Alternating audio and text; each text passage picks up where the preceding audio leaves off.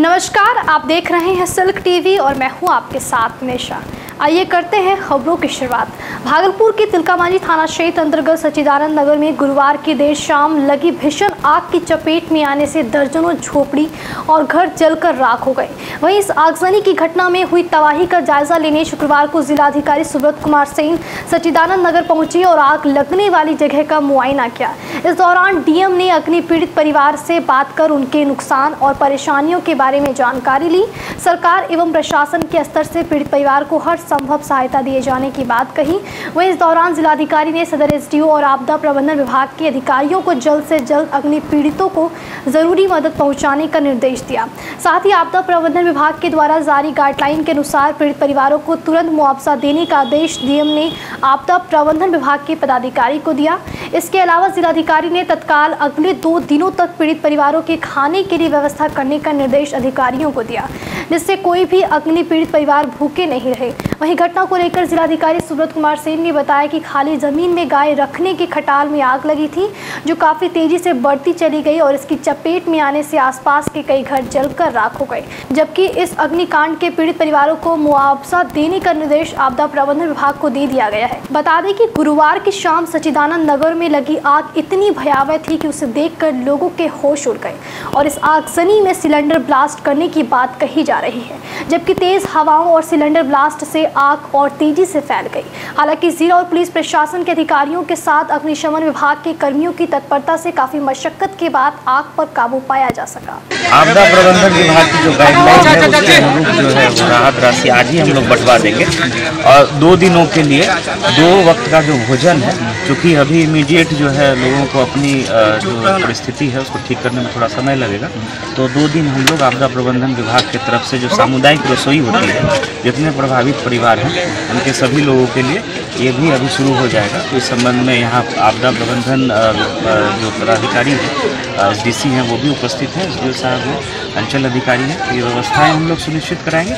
Check भी आज ही हम लोग जो है बंटवा देंगे। लेकिन ये है कि मेजर कोई जान माल का नुकसान नहीं हुआ है। जानवर भी सुरक्षित है और ये जो सामने ज़मीन है, ये सरकारी ज़मीन है, जिसका लोग, यहीं के लोग मवेशियों को रखने में करते थे। तो उसी में मेन आग लगा है और जब आग फैला है तो तीन चार घर जो है वो प्रभावित हुए।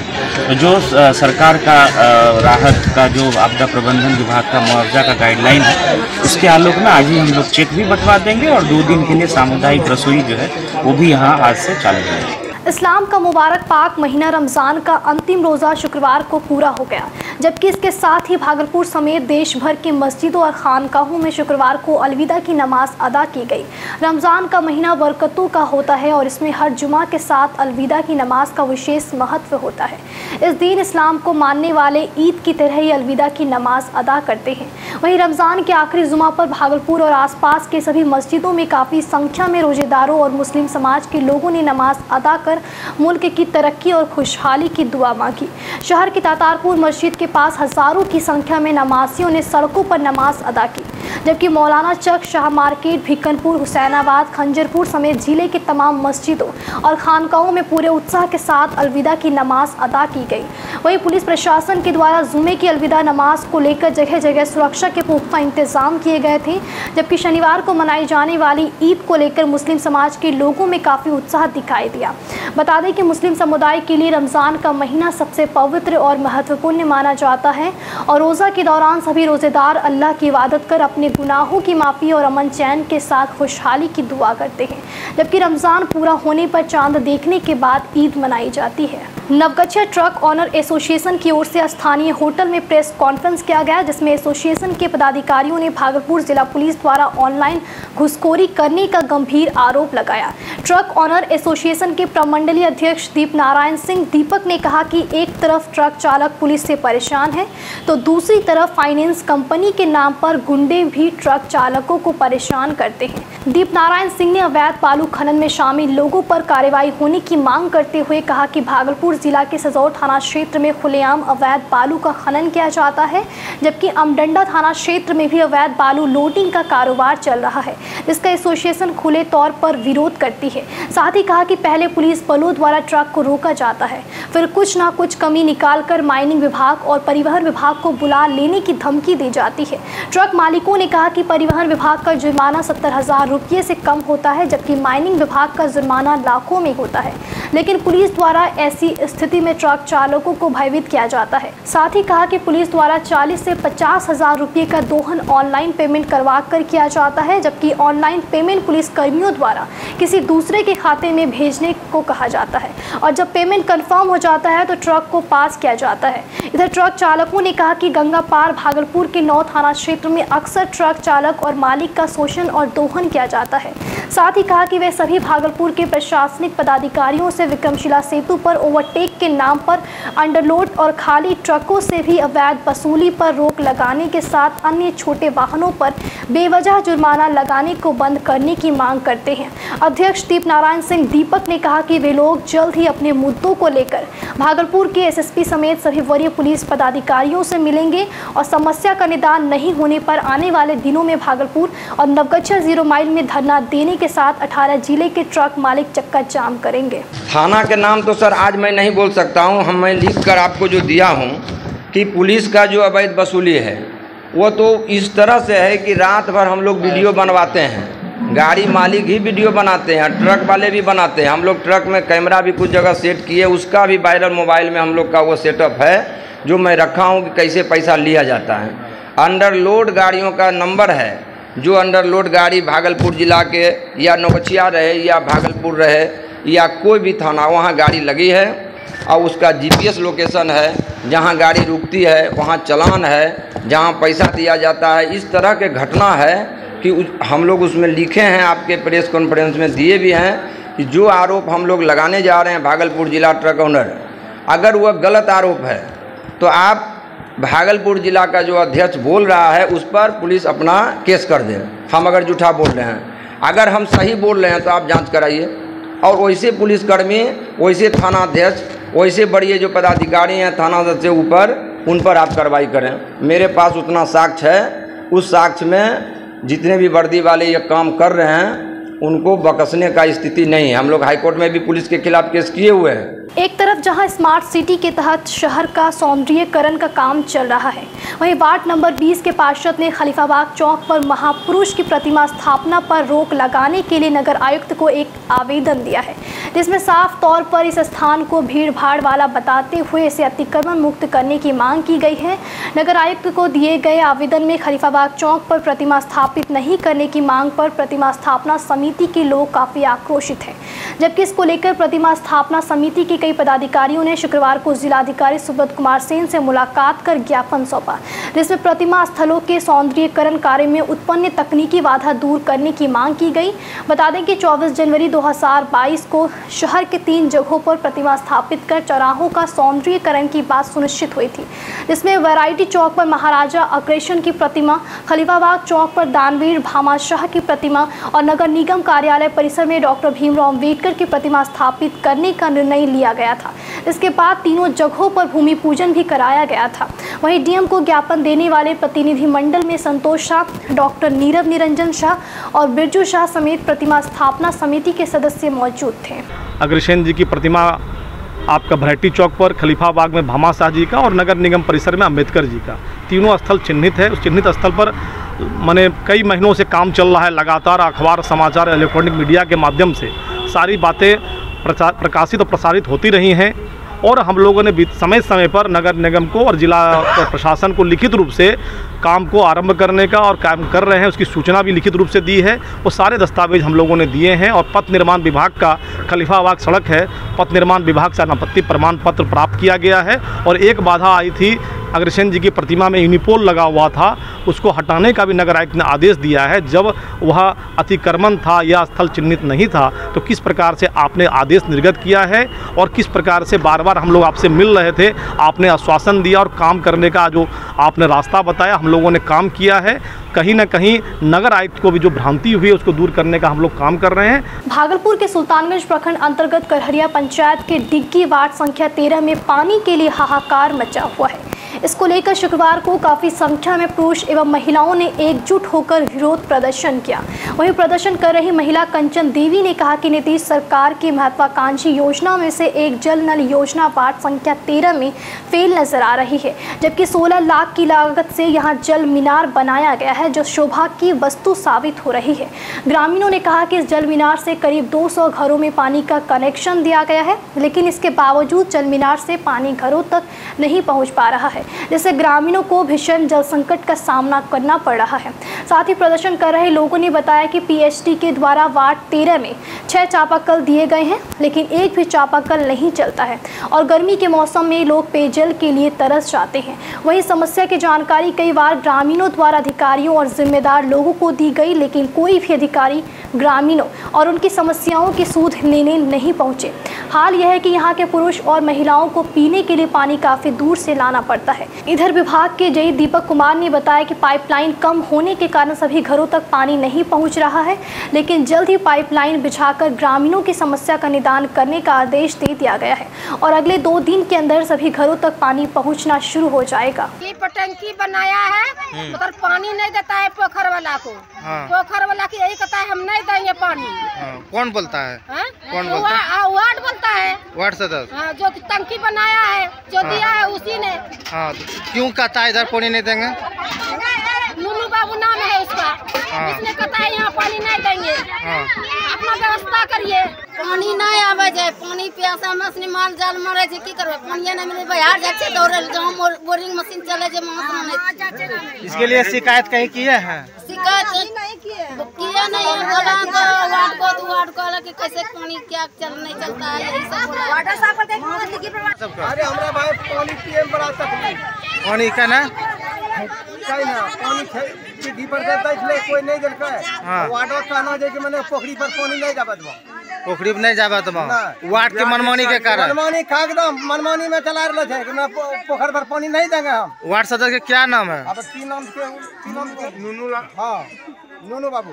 नूनू बाबू। अब वक्त तो चला एक छोटे से ब्रेक का। फ़ौरन लौटेंगे देखते रहिए सिल्क टीवी। मेरा नाम मुकेश कुमार एज अड़तीस साल। पहला बेर जब शुगर का पता चला तो फास्टिंग दो से तेरह और पीपी तीन सौ तीस था। और हम डॉक्टर साहब के पास आए केराय और दवा यूज़ किए। फरवरी में हमारा, हमारी पता चली थी और दवा बंद है। और आज हमारा जो है शुगर लेवल 125 पॉइंट तीन है। और आज हमारा, हमारी इलाज बहुत सफलतापूर्वक और बहुत विश्वास के साथ हुई है और हम जो है बहुत संतुष्ट हैं इस इलाज से।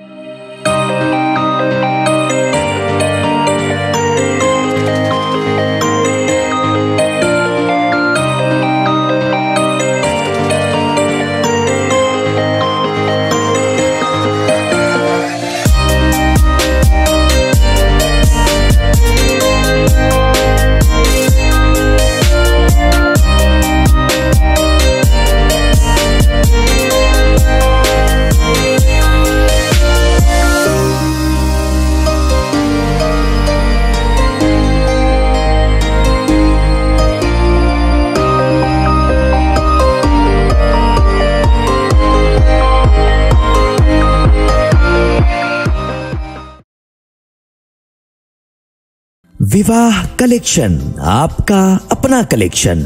हमारे यहाँ आपके लिए बेहतरीन कपड़ों का इंतज़ाम है। एक बार ज़रूर तशरीफ़ लाएँ और खिदमत का मौका इनायत फरमाएँ। ईद की इन खुशियों में विवाह कलेक्शन को अपनी पसंद बनाएँ। हमारे यहाँ आपके लिए है salwar suit, lehenga, chunri, gown, designer dress, sherwani, coat pant, kids lehenga और भी बहुत कुछ मौजूद है। एक बार ज़रूर तशरीफ़ लाएँ। Address Sujaganj, near Indara, station road Bhagalpur. Contact number seven six double seven four seven zero four one eight. Break के बाद फिर से एक बार आपका स्वागत है। बढ़ते अगली खबर की ओर। भागलपुर के शाकुन थाना क्षेत्र अंतर्गत मध्य विद्यालय नियामतपुर की रसोईया के पद पर कार्यरत सविता देवी ने विद्यालय के प्रधानाचार्य पर गंभीर आरोप लगाया है। दरअसल सविता देवी का कहना है कि बीते 18 अप्रैल को जब उसने विद्यालय के प्रधानाचार्य से वेतन भुगतान करने की बात कही तो प्रिंसिपल ने उसके साथ जबरन दुष्कर्म करने का प्रयास किया। जिसके बाद वह किसी तरह से प्रिंसिपल से अपने को छुड़ाकर भागने लगी। तभी प्रधानाचार्य ने लोहे के रॉड से मारकर उसे घायल कर दिया। पीड़िता ने बताया कि इसके बाद मामले की शिकायत उसने शाकुन थाने में दर्ज कराई, लेकिन थाना के द्वारा कोई कार्रवाई नहीं की गई, जिसके कारण अपनी गुहार लेकर पीड़िता अपने पति के साथ भागलपुर एसएसपी आनंद कुमार के पास पहुँची। साथ ही रसोईया सविता देवी ने वरीय पुलिस अधीक्षक से आरोपी प्रिंसिपल के खिलाफ कड़ी कार्रवाई करने की मांग की। वहीं पीड़िता के पति का कहना है कि उसकी पत्नी दो साल से स्कूल में रसोईया के पद पर कार्यरत है, लेकिन आज तक उसे वेतन नहीं मिला, जबकि वेतन की मांग को लेकर जब वह स्कूल के प्रिंसिपल के पास पहुँची तो प्रधानाचार्य ने उसके साथ गलत करने का प्रयास किया। इधर वरीय पुलिस अधीक्षक आनंद कुमार ने पीड़िता को मामले में जल्द ही कार्रवाई करने का आश्वासन दिया है। ऐसे हम खाना दरखास्त पैसा मांग रहे थे इसी वजह से। पैसा नहीं दिया? कितने दिनों का? दो साल से। दो साल से पैसा दिया ही नहीं है? नहीं। उसके बाद क्या हुआ? इसके बाद हमसे बोल रहा था कि कि कहीं नहीं जाना जो कहेंगे वो सुनना पड़ेगा। बस नहीं तो तुमको मार देंगे। तुमको हमारा बात मानना है पड़ेगा आपका? सविता देवी। जाओगे तो जान मार देंगे एकदम साफ़ है। वही जो डीएम के पास जो दिए थे कागज़ वही कानून कार्रवाई के कारण से। क्या कागज़ दिए थे? दिए थे कि दो साल दो साल से खाना बना रहा था और जो है वो नहीं कोई कानून कार्रवाई किया तो उस कानून कार्रवाई नहीं मिला। पैसा नहीं मिला है। हाँ डीएम से मिले। तो बोला तो डीएम से गए तो वही बोला कि तुम्हारा बाप है डीएम। से डीएम तुम्हारा बाप है कहीं जाओगे तुम्हारा कोई भी नहीं लेगा। भागलपुर के नवगछिया प्रखंड के उप प्रमुख गौतम कुमार ने इलाके के विभिन्न विद्यालयों का निरीक्षण किया, जिसमें निरीक्षण के दौरान कई विद्यालयों में अनियमितता पाई गई। इस दौरान उप प्रमुख ने सबसे पहले नवगछिया भीपुर और खरीक प्रखंड के विद्यालयों में मध्यान्ह भोजन के लिए चल रहे एनजीओ का निरीक्षण किया और विद्यालयों में भेजे जाने वाले भोजन की जाँच की। निरीक्षण के दौरान भोजन की गुणवत्ता में कई कमी पाई गई है, जबकि उप प्रमुख ने मौके पर मौजूद कर्मियों से जब इसकी जानकारी ली तो कोई जवाब नहीं मिला। वहीं इसके बाद उप प्रमुख प्राथमिक कन्या विद्यालय पकड़ा पहुँचे, जहाँ निरीक्षण के दौरान विद्यालय में सत्तर बच्चे उपस्थित थे। जबकि वहाँ मौजूद प्राचार्य प्रफुल्ल कुमार ने शिकायत करते हुए बताया कि एनजीओ के द्वारा दिए गए भोजन बच्चे नहीं खाना चाहते हैं। और इसकी गुणवत्ता काफ़ी खराब होती है। एवं भोजन में कई बार कीड़ा भी निकल चुका है। अपने भ्रमण कार्यक्रम में उप प्रमुख ने गजेंद्र मध्य विद्यालय, दुनिया टोला, मध्य विद्यालय खगड़ा, मध्य विद्यालय महदतपुर समेत कई स्कूलों का निरीक्षण किया, जिसमें कई जगहों पर अनियमितता की शिकायत मिली। वहीं उप प्रमुख गौतम कुमार ने बताया कि निरीक्षण के दौरान सभी विद्यालयों में 10 बजे तक हाजिरी नहीं बनाई गई थी और विद्यालय में मध्यान्ह भोजन के दौरान प्रधान अध्यापक द्वारा अधिक छात्रों की सूची बनाकर दी जाती है। इधर खराब भोजन देने के संबंध में उप प्रमुख ने एनजीओ प्रभारी कैलाश यादव से बात कर शिकायत की और भोजन की गुणवत्ता में सुधार के लिए ज़रूरी निर्देश दिए। प्रखंड शिक्षा पदाधिकारी नितेश्वर पांडे ने बताया कि अगर भोजन खराब हो रहा है तो हेड मास्टर को खुद इसे देखना है। जबकि वह अगर लिखित शिकायत देंगी तो इसकी जाँच की जाएगी। आज हम जो है माध्यमिक विद्यालय और मिडिल स्कूल जितना भी है, हर जगह निरीक्षण किया, जिसमें कि मददपुर सदरा पंचायत और पतरा पंचायत, तीनों जगह मैंने निरीक्षण किया और जहाँ थाना बनता है एमडीएम का, वहाँ भी मैंने निरीक्षण किया। तो बहुत से स्कूलों में बच्चे और जो है टीचर के मुँह से वीडियो है, उसमें कहा गया है कि आज जो है दाल खट्टा था, सब्ज़ी खट्टा था। चावल की भी क्वालिटी नहीं है, बहुत से बच्चे ने खाना बर्बाद भी किया, जिसका हर प्रमाण है। जगदीशपुर प्रखंड कार्यालय में दिव्यांगजनों को निशुल्क सहायता उपकरण मुहैया कराने के लिए परीक्षण शिविर का आयोजन किया गया, जिसमें tricycle wheel chair walking stick, smart cane, smartphone, hearing and कृत्रिम अंग और ट्राईपॉड वितरण के लिए जाँच दिव्यांगजनों की की गई। इस दौरान ऐसे दिव्यांग जिनके पास दिव्यांगता प्रमाण पत्र उपलब्ध नहीं था, उसके लिए सांसद अजय मंडल के प्रयास से शिविर में ही तत्काल प्रमाण पत्र बनाने की व्यवस्था कराई गई, जबकि दिव्यांगता परीक्षण शिविर के प्रचार प्रसार के लिए प्रखंड में प्रचार रथ की भी व्यवस्था की गई है। साथ ही इसके लिए विभाग की ओर से एक हेल्पलाइन नंबर छः दो आठ सात एक शून्य शून्य तीन शून्य सात जारी किया गया है। वहीं जगदीशपुर में लगाए गए शिविर में सभी छियासी दिव्यांगजनों की जाँच के बाद उपकरण वितरण का पर्चा दिया गया। देखिए, ये सांसद महोदय के सौजन्य से जो ये शिविर लगाया जा रहा है, भागलपुर के सभी सोलह प्रखंडों में लगाया जा रहा है। तो अलग अलग दिन पे अलग अलग जगह पे ये हो रहा है। तो यहाँ पे जो जितने भी दिव्यांग हैं जो भी यहाँ आएँगे, और वो जिस तरह से विकलांगता है, मान लीजिए किन्हीं को सुनने में दिक्कत हो रही है, किन्हीं को चलने में दिक्कत हो रही है लोकोमोटर से प्रॉब्लम है तो उस तरह के विकलांग को चिन्हित किया जाता है, और उनको जो है उपकरण देने के लिए जो है हम लोग ये कर रहे हैं। फ़िलहाल इस बुलेटिन में इतना ही, तब तक के लिए नमस्कार।